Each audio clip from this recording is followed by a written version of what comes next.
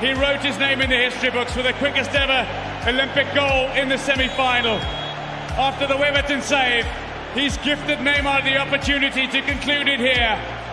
Neymar of Barcelona, of Brazil, gives Brazil their first ever Olympic gold medal. Questo.